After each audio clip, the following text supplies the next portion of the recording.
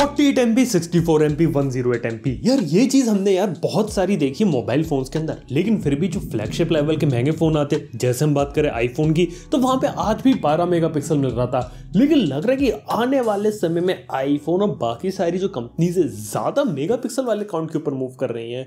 फिर पीछे का सिंपल सा लॉजिक ये हो जाता है, क्योंकि आज के समय में कुछ ऐसे फीचर्स हो गए, जो ज़्यादा मेगापिक्सल के साथ पॉसिबल हो ही नहीं सकते। और यही एक मेन रीजन है कि बाकी सारी जो कंपनीज़ है ना, वो धीरे धीरे आजकल ज़्यादा मेगा पिक्सल के पीछे भाग रही है। एक एग्ज़ाम्पल बताता हूँ आपको। जैसे कि बात करेंगे हम एट के वीडियो रिकॉर्डिंग की। एट के वीडियो रिकॉर्डिंग एक ऐसा फीचर है जो आप बारह मेगा पिक्सल के इमेज सेंसर के साथ कर ही नहीं सकते।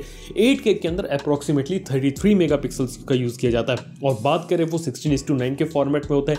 इमेज सेंसर होता है फोर टू थ्री में। तो वहाँ पे आपको कहीं ना कहीं फोर्टी एट या फिफ्टी मेगा पिक्सल का इमेज सेंसर यूज़ करना पड़ेगा।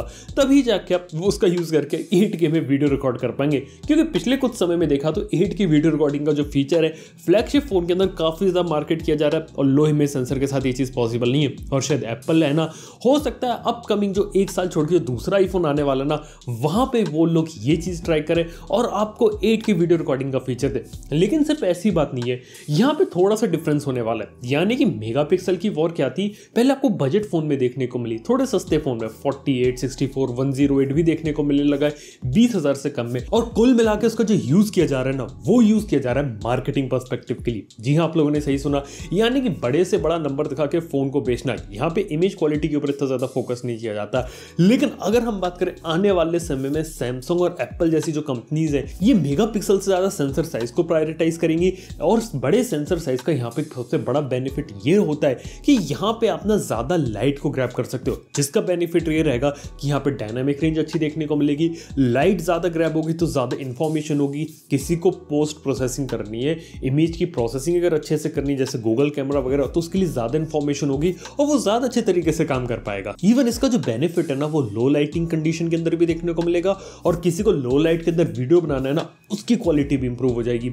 इवन बात करें इसका एक बेनिफिट ये भी रहेगा कि अपकमिंग आने वाले फोन्स में आपको एच वीडियो रिकॉर्डिंग का जो फीचर है, वो भी स्टैंडर्ड बनता हुआ देखने को मिलेगा। क्योंकि एच वीडियो जब भी रिकॉर्ड होता है ना तो हमेशा सेंसर को थोड़ी ज़्यादा लाइट की रिक्वायरमेंट रहती है।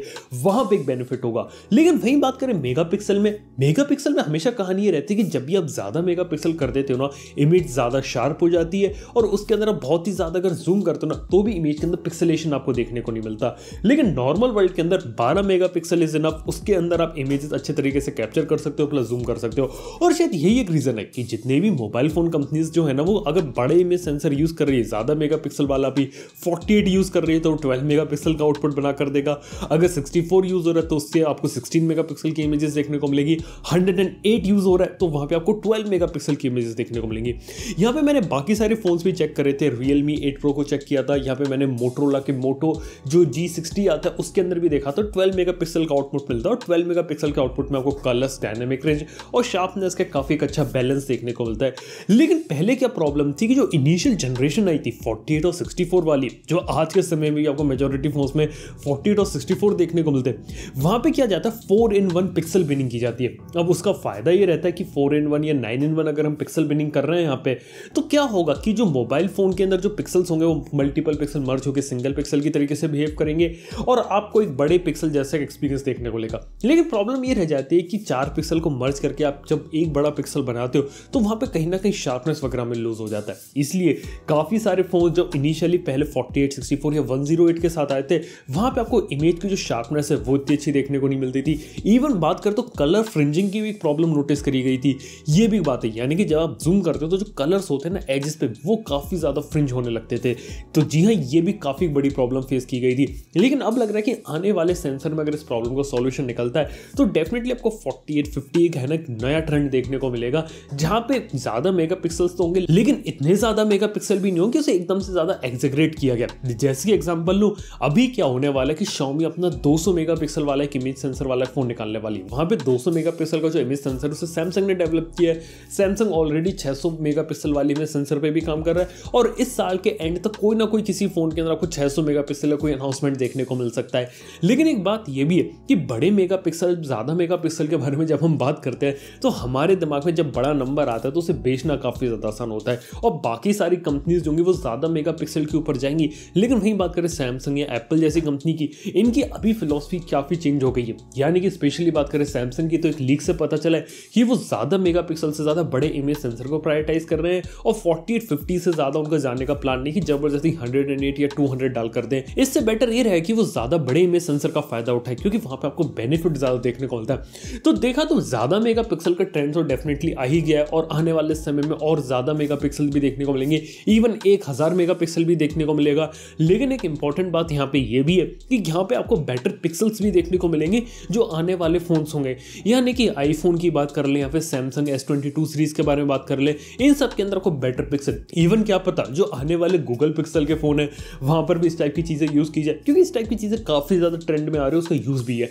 लेकिन एक काफ़ी बड़ी प्रॉब्लम है जो ज़्यादा मेगा पिक्सल बड़े में सेंसर के साथ जुड़ी है, वो है यहाँ पे फ़ोन के अंदर स्पेस अभी कैमरा हम ऑलरेडी काफ़ी ज़्यादा बड़ा हो गया और इसके अंदर और बड़ा अगर इमेज सेंसर फिट करते हैं कैमरा हम पहले से और ज़्यादा बड़ा होने वाला है। तो डेफिनेटली फ़ोन की थिकनेस और कैमरा पे कैसी चीज़ रहेगी जिसे कंपनीज़ को मैनेज करने की ज़रूरत है। इसके साथ एक और प्रॉब्लम ये रहेगी वाइड अपर्चर के साथ। अगर अपर्चर ज़्यादा बड़ा हो जाता है बड़े में सेंसर है तो वहाँ पे ऑटो फोकस की प्रॉब्लम्स आपको देखने को मिलती है और जो प्लेन ऑफ़ फोकस है वो काफ़ी छोटा हो जाता है। ये प्रॉब्लम है ना इनिशियली काफ़ी सारे फोन्स के साथ आई थी, थोड़ी बहुत सॉफ्टवेयर वगैरह से फिक्स करने की कोशिश करी थी, लेकिन फिर भी काफ़ी हद तक फोन्स के अंदर ऑब्ज़र्व की गई थी। तो डेफिनेटली ज़्यादा मेगा पिक्सल का बेनिफिट तो रहता है कि आप ऑब्वियसली जूम इमेज कर सकते हैं एट में वीडियो रिकॉर्ड कर सकते हैं, लेकिन पिक्सल बिनिंग करिए, अगर आपको बेटर पिक्सल्स देखने को मिले तो हाँ उसका फ़ायदा जो होता है वो उठाया जा सकता है फोटोग्राफी के अंदर इवन वीडियो के अंदर भी।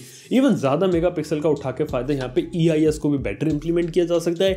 और एक बेनिफिट यहाँ पे ये भी है कि यहाँ पे आप HDR वीडियो और ओवरऑल जो क्वालिटी होती है उससे इंप्रूव किया जा सकता है। तो डेफिनेटली कह सकते हैं कि आने वाले समय को ज़्यादा से ज़्यादा मेगा वाले फोन्स देखने को मिलेंगे। ये बात बिल्कुल एक फैक्ट है। लेकिन ऐसा भी होगा कि मेगा के साथ साथ आपको बड़े इमेज सेंसर भी देखने को मिलेंगे और जो महँगे फोन्स होंगे, वहाँ पर ऐसा होगा कि आपको मेगा शायद कम देखने को मिले। यानी कि 40 50 तक ऐसे देखने को मिले 100 या उसके ऊपर कम देखने को मिले। लेकिन जो थोड़े अफोर्डेबल सस्ते फ़ोन होंगे, बीस, पच्चीस हज़ार या उससे कम रेंज के अंदर आने वाले, सौ, दो सौ मेगा पिक्सल उसमें एक नया ट्रेंड सा आने वाला है। तो जी हाँ ज़्यादा से ज़्यादा मेगा पिक्सल की एंट्री मोबाइल फ़ोन्स के अंदर होने वाली है। देखते हैं आने वाले से मोबाइल फ़ोन के कैमरा की परफॉर्मेंस किस तरीके से इंप्रूव होती है। और कहीं ऐसा नहीं हो कि ज़्यादा मेगा पिक्सल का दिखा के सिर्फ़ एक मार्केटिंग गेमिक निकले। रियल वर्ल्ड में जो इमेजेस होती है ना, उसके ऊपर कोई बड़ा भारी डिफरेंस देखने को ना मिले। तो देखते हैं आने वाले समय में कहानी क्या रहती है।